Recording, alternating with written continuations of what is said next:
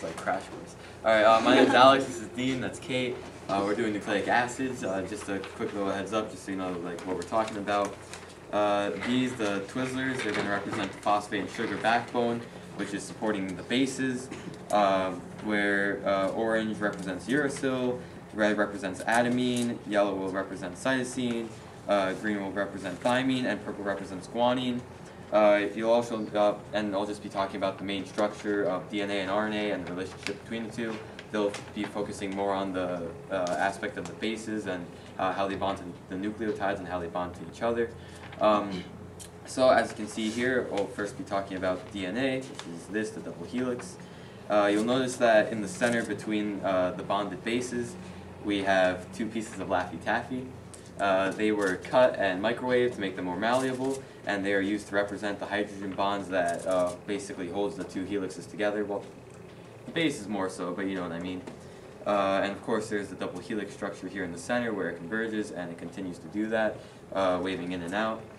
Uh, over here is the RNA, which you'll notice does not have any sort of thymine. It has uracil as a replacement, and there are no bonds between the bases.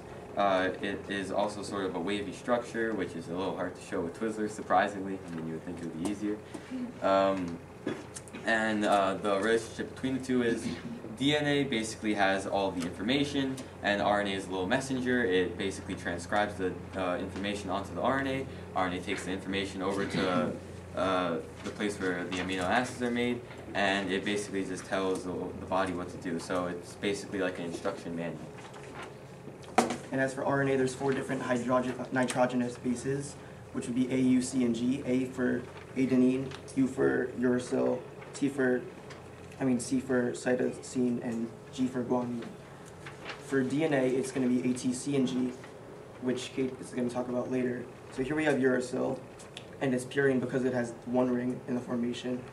And for here we have adenine and guanine, and in order to make the nucleotides, they're both linked to a, uh, a phosphate group, which we represented red for oxygen, uh, clear for phosphate, yellow for carbon, orange for hydrogen, and green for nitrogen.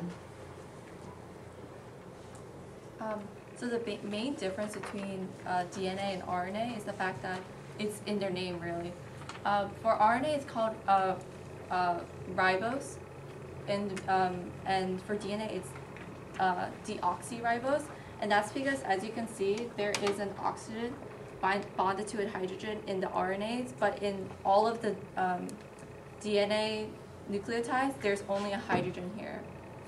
And also, it's important to notice that here and here there are oxygen, and this would be um, guanine and thymine, which don't bond together, but it's rather the one where there's a um, CH2 and an oxygen, which would hydrogen bond here, as um, Alex showed in his model. Um, in a uh, dehydration uh, reaction, uh, it would happen between the th- um, third and fifth carbon uh, in the sugar, which um, Alex will show as well. Oh, oh, I just uh, so like because we didn't cover it before.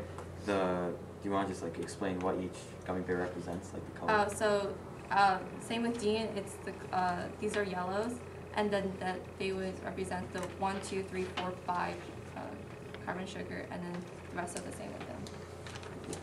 Uh, the red ones are oxygen, and the uh, the orange ones are also hydrogen. Uh, so of course, ju- just like a quick little recap, this would be the phosphate group. This is the sugar group, in this case the deoxy- deoxyribose group, as is uh, a DNA base. Uh, and over here you can see the base itself. Um, so of course you would have to take off a Um, hydroxyl I- group.